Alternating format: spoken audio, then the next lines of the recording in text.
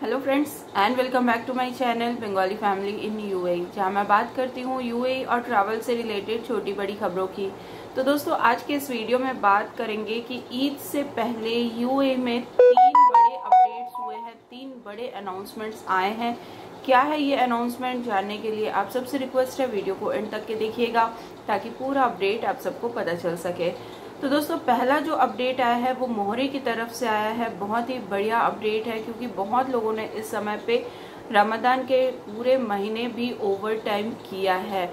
Fasting रह के भी बहुत लोगों ने ओवर टाइम किया है और नॉर्मल सॉरी नॉर्मल वर्कर्स ने भी बहुत ज़्यादा ओवर टाइम इस समय पे किया है। तो मोहरे की तरफ़ से ये अनाउंसमेंट हुआ है कि अगर कोई भी रमदान के टाइम पे ओवर टाइम किया हो, जो भी आपका वर्किंग आवर है, उससे ज़्यादा आपने अगर काम किया है तो नॉर्मल समय पे जितना ओवर टाइम कंपनी आपको देती है सेम उतना ही अमाउंट उतना ही परसेंटेज आपको रमदान के टाइम पे भी मिलेगा। कोई भी कम करना, बढ़ाना कुछ नहीं होगा सेम एज इट इज़ रहेगा। बहुत लोग क्या करते हैं कि रमदान के टाइम पे भी, जैसे मान लीजिए दो बजे छुट्टी होती है रमदान के टाइम पे और नॉर्मल आपको पाँच बजे की छुट्टी होती है तो पाँच बजे तक काम करवा लेती है और आपको ओवर टाइम नहीं देती। लेकिन ऐसा नहीं होगा। दो बजे से लेके पाँच बजे तक जो आपने काम किया है, वो ओवर टाइम होगा और over time as it is आपको पहले जितना मिलता था, उतना ही मिलेगा।